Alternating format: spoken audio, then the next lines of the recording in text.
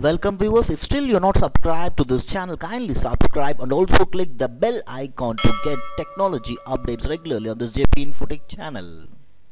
Hi, in this video we are going to see about a Python project which is entitled as Efficient Thyroid Disease Prediction using Feature Selection and Meta Classifiers which is an IEEE 2022 conference paper. So before seeing the execution of the project, let me brief about this project. So the authors have proposed a model for predicting the thyroid disease. So due to the change in the human lifestyle, the thyroid disease is becoming a critical problem and also predicting this thyroid disease in the medical research is also a complex principle. But the machine learning methods are more powerful and also compact for the healthcare industry to handle the massive amount of healthcare records.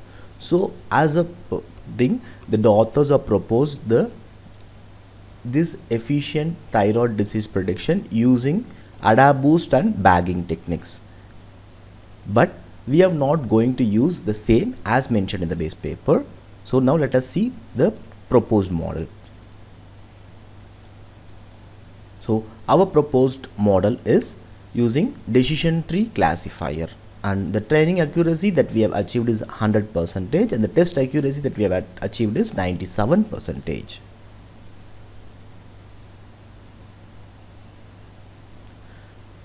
So coming to the data set part.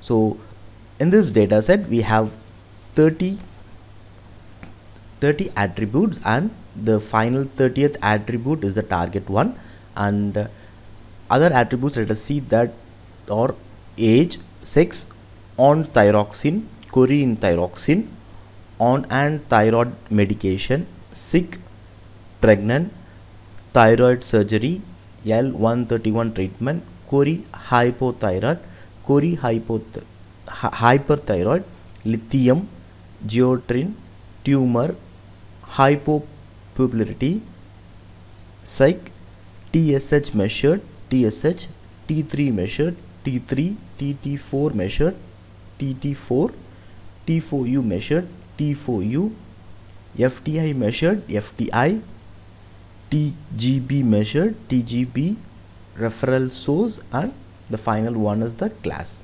So we have collected the data set from various sources. We have not used any particular data set here so now let us show you the data set that we are going to use. So as mentioned the attributes are given over the head and here you can see the complete data set. So this is the data set part. So before execution make sure that you have fulfilled the requirement that is mentioned in the requirement part and also installing the required libraries. Now let us see the execution of the project. So just copy the source code location go to your command prompt go to the source code location type python app.py and click enter and wait for some time. And after few minutes you can see this url just copy this url go to any of your browser. I'm going to firefox and just paste this url that we have copied. So now you can see the home screen or welcome screen of the project with the project title efficient thyroid disease prediction using features selection and meta classifier. So in the top you can see the login menu. Just click this login menu and it will be navigated to the login page and kindly note that this is a static login page because we have not used any database in the project. So just enter the default username and password as admin admin and then click the login button. And once if you see the login success click ok. And now it will be navigated to the upload part.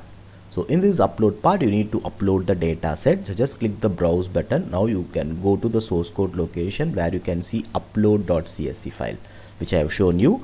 Just click it and then click upload and now it will be navigated to the preview part where you can see the preview the data set that we have uploaded. And you can see the things that I have already shown the data set in the Excel format or CSV format. So you can scroll down till the end of the page and you can see the complete data set is being loaded into the preview part. And now you can click the button click to try not test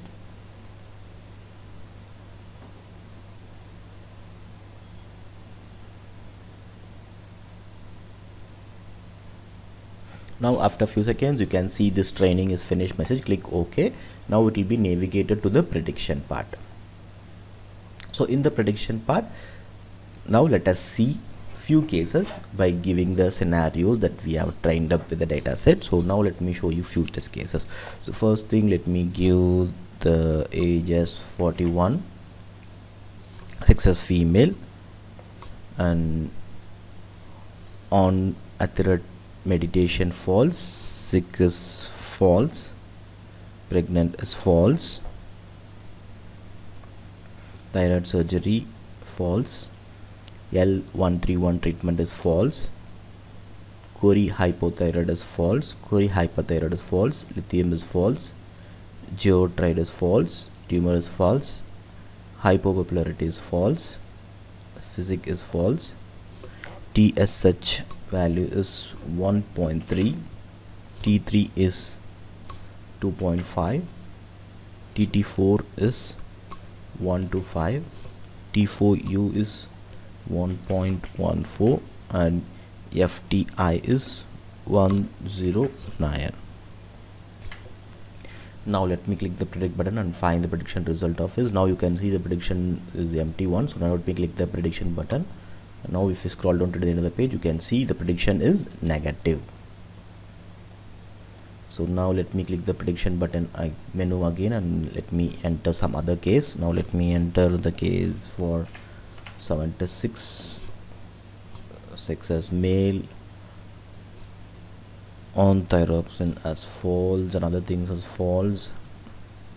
And let me go to the STSH value which is 3.2 T3 is 0 0.8 TTF TT4 is 101 T4U is 0 0.99 FTI is 103 sorry 103 and let me click the predict button and now you can see the prediction result is sick so again let me show you some other case. So let me go to let me give the case as 27 6 as female and all other things remain the same as false. Let me go to TSH value. So now TSH value is 15 T3 is 1.6 TT4 is 82 T4U is 0.82 FTI is 100 now let me check the prediction result of this. So the predicted result is negative. So finally let me go to the prediction menu again and let me give some other case as age as 24 sex as female on thyroxine as true and all others remains as false again here and TSH value is 66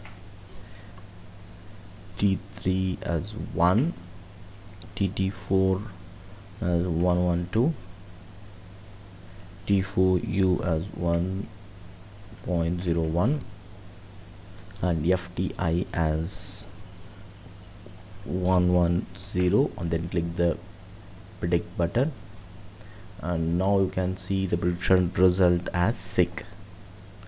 So as a scenario I have shown you with the few cases. You can check with the other cases that is mentioned the test cases or in the trained data set. So now let me navigate to the performance analysis part.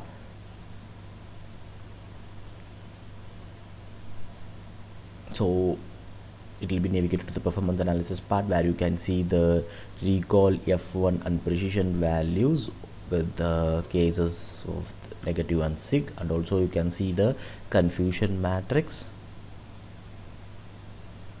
And final menu is the chart part. And please note that this is a static chart. As I mentioned that this does not contain any database so this is a static chart and this is not a dynamic one. So this chart has been depicted from the data set that we have trained up with. So which consists of our sick cases of 61.5 percentage and negative as 38.5 percentage which is being depicted in this chart part.